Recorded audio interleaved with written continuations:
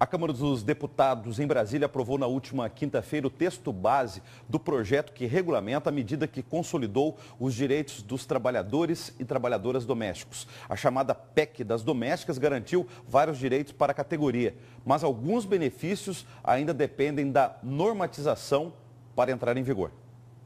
Pelo projeto de lei 302 de 2013, aprovado na Câmara dos Deputados, empregados domésticos de todo o país terão direito à carteira de trabalho assinada, conta no Fundo de Garantia por Tempo de Serviço, o FGTS, horas extras e adicional noturno e seguro contra acidente de trabalho. A carga horária semanal está fixada em 44 horas, sendo 8 horas diárias. O sindicato comemora a aprovação. É uma grande vitória. O mês da mulher né, o mês da vitória do empregado doméstico.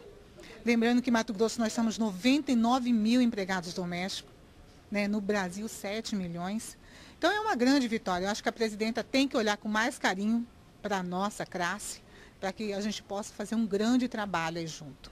A lei ainda estabelece a criação do Simples Doméstico numa plataforma online, como explica esse advogado especialista em causas trabalhistas. É muito mais prático, é mais viável, ele evita burocracia e já é, todos os direitos são assegurados ali mesmo, eletronicamente. Os próximos passos vão se dar por meio de convenções trabalhistas entre patrões e empregados, para definir primeiro a contribuição sindical e também um piso salarial para a categoria. Eu acredito que nós temos que ter um bom senso. Né?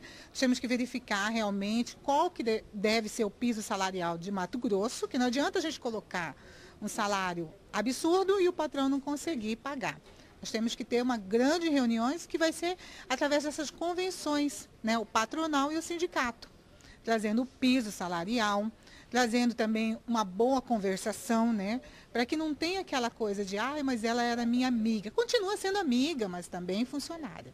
A PEC das domésticas, como é chamada a proposta de emenda que beneficia mais de 16 mil trabalhadores. Só aqui na região metropolitana ainda precisa de aprovação no Senado e sanção presidencial.